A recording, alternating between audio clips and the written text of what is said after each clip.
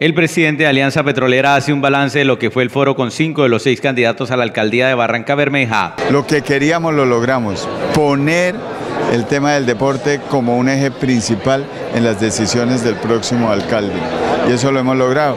Ya los ciudadanos deciden cuál le gusta o no le gusta. Fueron varios los temas tratados en la noche de ayer. En el tema de los eventos deportivos, yo creo que hay que aterrizarlos, sentarlos, hay que volver eso una muy buena política pública, que cada año Barranca Bermeja tenga un evento nacional o un evento internacional.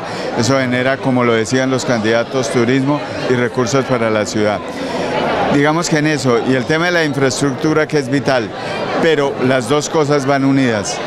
Yo creo que si hacen eventos, el Estado tiene como eh, mejorar la infraestructura deportiva y ahí van las dos cosas unidas. Eso hay que trabajarlo con ellos.